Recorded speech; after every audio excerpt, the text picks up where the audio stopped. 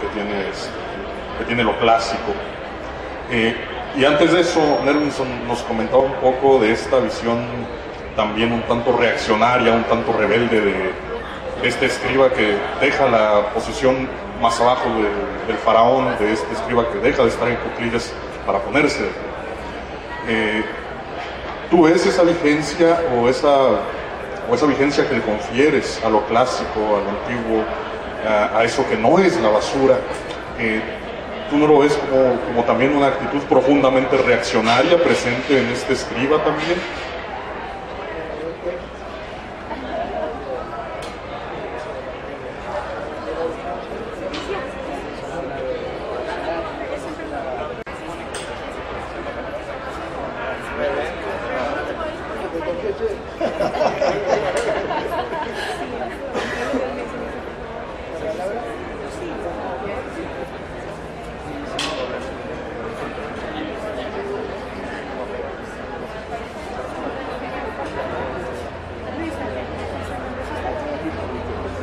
Escribo es un escribo simbólico en el cual el autor o los autores tratan de ser representados.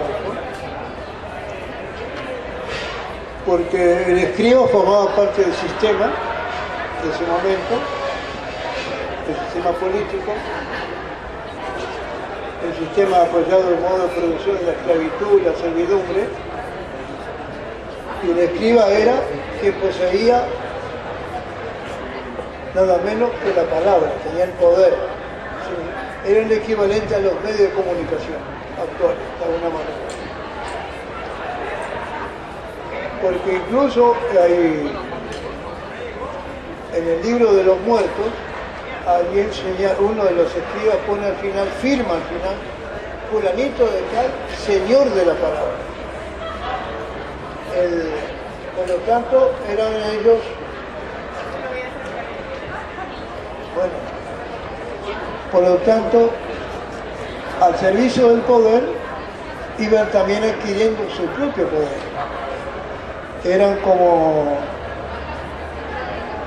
eran como una especie de, una clase social que estaba en la parte, no productiva, sino administrativa. Era la inteligencia, digamos, en, ese sistema pero por una proyección personal, el escriba que se maneja en este libro no está sentado que, sino que gana la verticalidad, gana su propia presencia y es un gesto de libertad. Porque la gran libertad humana empieza primero cuando vence el hambre. La especie humana vence el hambre, en general, ¿no? Hay que vencer el hambre, hay que comer primero. En el principio está la materia, estómago. Lo otro vendrá después. Entonces cuando la especie humana adquiere la verticalidad, libera sus manos y ve más lejos. Después se trepa un caballo y cambia la historia.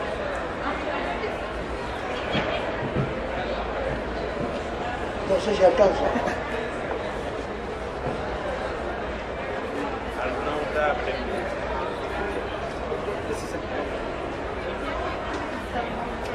No sé si hay otra, otro comentario o pregunta. Ah, ok, hay una...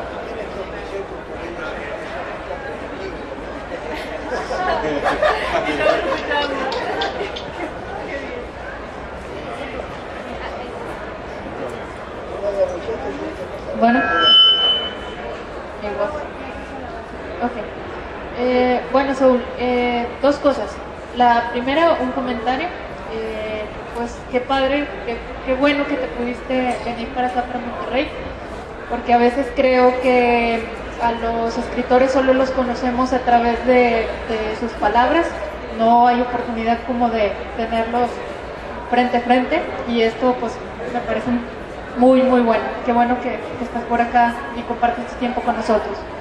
Eh, la segunda cosa es una pregunta, eh, a mí me causa curiosidad saber ¿Cómo fue que tú decidiste ser escritor? ¿Qué, cuál fue ese, esa pauta en tu vida donde tú dijiste yo quiero escribir? No sé.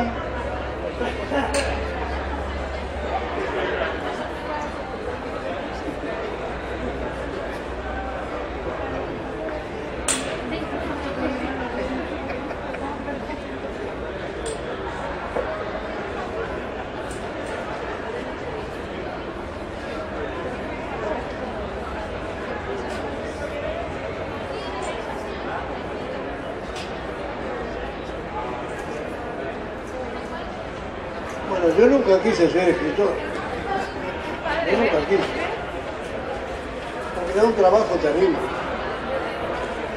Todo lo que hay que leer, lo que hay que aprender, lo que hay que estudiar, es una chinga. Entonces muchas veces, cuando me inspiraba, la inspiración no existe, ¿no? por eso lo pongo entre comillas, sentía la pulsión de escribir, me iba a tomar sol, no quería escribir. Bueno, yo no quiero. Ahora, si quisiera, hubiera publicado 100 libros, publiqué solo 50. Pero escribir es una contradicción insoluble para mí, porque yo no quiero escribir. Como dicen los niños, no quiero, no quiero, no quiero. Sin embargo, escribo. Entonces, como decía un amigo mío, un escritor brasileño, Sergio Faraco, me decía que él empezaba a escribir un cuento y se volvía loco. Entonces la mujer lo, lo corría de la casa porque se ponía histérico. Y eso nos recuerda lo que decía Freud, ¿no? que el escritor es un erótico que para combatir la neurosis escribe y se pone más neurótico. Y por ejemplo, ahora yo estoy escribiendo una novela, trato de escribirla. Y de pronto hago media, digamos, media página y me voy, me invento algo, me hago un café, me pongo a ver la tele, leo el periódico para no escribir. Sin embargo, vuelvo otra vez. Las musas te llaman. Pero porque en la escritura narrativa, mi experiencia, ya, publiqué siete novelas y varios libros de cuentos, testimonios. En la experiencia narrativa, yo, es decir, nosotros, vemos las cosas. Yo, yo veo los personajes, los veo. Y al verlo de esa manera, como el que me comprometo a ya adquirir una existencia, que no es lo mismo una imagen, una metáfora, una metáfora en un poema, no es lo mismo. Entonces esos personajes ya tienen su propia manera de hablar, su propia manera de ir al baño, su propia manera de pensar, su relación con otras cosas. De pronto un personaje está así y se le ocurre hablar por teléfono, pero a mí como autor no se me ocurrió, a él se le ocurrió. Es la vieja independencia y independencia, dependencia entre el autor y los personajes.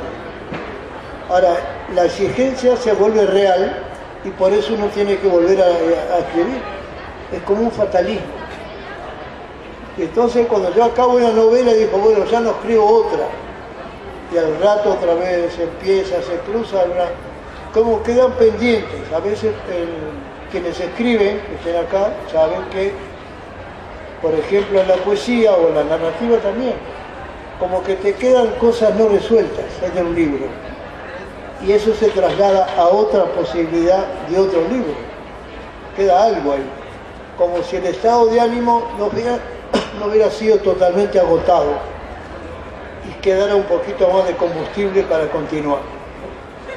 Entonces, por eso que en la, la, novela anterior, la, la, última que he publicado hasta ahora, que se llama Volver, Volver, que fue publicada en Uruguay y aquí en México el año pasado, ahí yo invento una ciudad, como inventé también otra en otras novelas,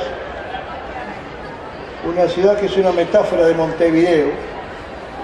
Montevideo está a la orilla del río, es una ciudad llena de playas, el río es muy ancho, no se ve el otro lado